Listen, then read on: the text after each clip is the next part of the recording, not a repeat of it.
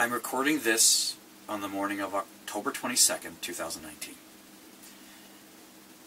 I happen to notice that the light's getting a lot dimmer. I haven't paid attention to it for a little while. My negligence.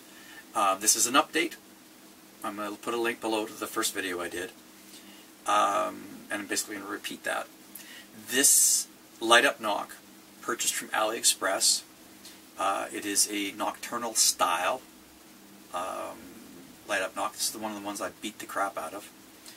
And it is um, been turned on since about 7 p.m.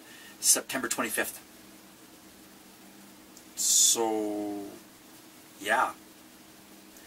That works out to roughly 660 hours that this thing has been turned on at this point.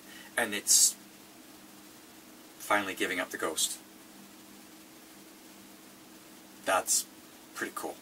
I'm going to flip the light off and show you what it looks like when the light's off.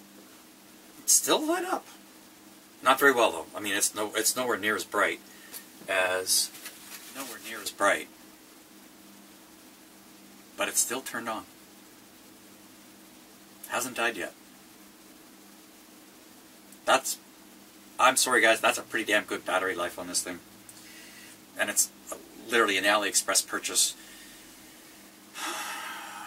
Put the link below to where I purchased it from, but you can get this style of, of light up nock from AliExpress for, uh, if I remember correctly, I'll say three, maybe four dollars Canadian. Um, though you have to buy a large number of them to get that price, but that's still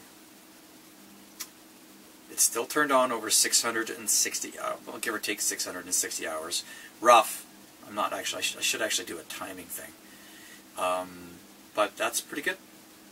Now, like I said, it's nowhere near as bright. that's kind of obvious.